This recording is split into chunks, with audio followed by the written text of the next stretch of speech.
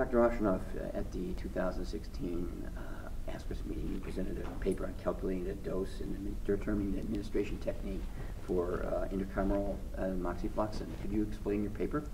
Sure.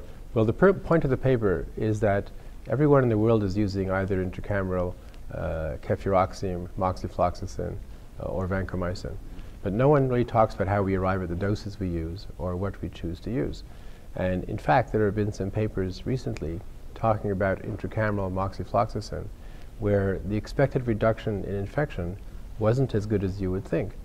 And we expect to get about an 80% reduction of infection with any of these agents, as the ESCRS reported, and many other studies showed the same thing, including us. Um, but what happens is some people have been using lower doses. So I thought I would go through in a paper the microbiology of how you calculate the dose you want to use, uh, how long it lasts, and how we can administer it. So that's what I did. So I presented the data on the MICs of the most common pathogens in the eye, and you want to have a cidal agent, uh, and so you want to have 10 times the MIC of the most resistant strain.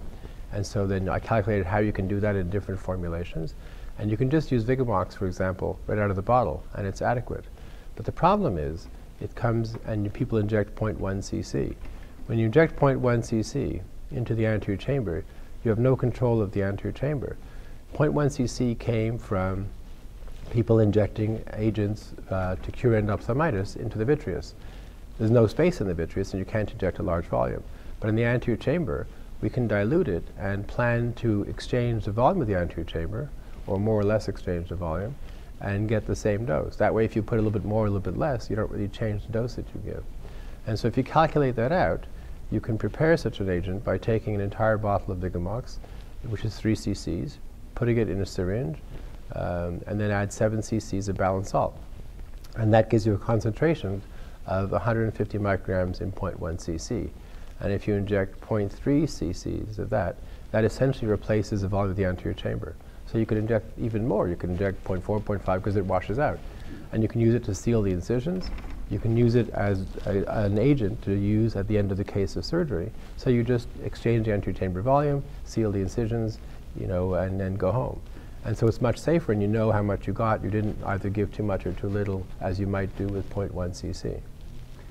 Now, the take-home message for the clinician in, in his practice and for in, in, in doing this technique, what is it for him?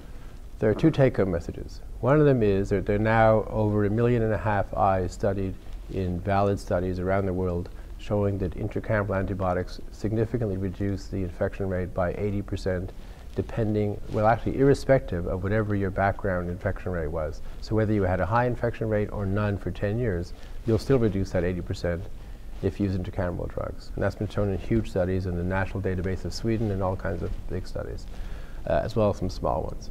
So, and then we want to find a drug that we can use. One of the problems of using cefuroxime, which the, is its 0.1 cc, and also if you get an infection from cefuroxime, and we always have to look at what happens if something fails, because something will always fail. There'll always be cases that escape our treatment. So if you get a fail, a failure case, and you get an infection, they're usually Enterobacter, because Enterobacter is not sensitive to cefuroxime. But Enterobacter is also not very sensitive to the drugs that we use to treat endophthalmitis. So we often lose those eyes. Whereas if you use moxifloxacin, because it's a drug that has a mechanism entirely different from the drugs that we use to treat endophthalmitis, if you do get an infection, and which will happen with the same rate probably as cefuroxime, it ends up being very easy to treat because the drugs that we now use for endophthalmitis work in entirely different mechanisms, and the chances of having a bacteria that are resistant to both wildly different mechanisms is extremely low. And so in those cases, like in Sweden where they have their national database, they find that the moxifloxacin failed infections are easy to treat, whereas the cefuroxime ones aren't. Thank you, Dr.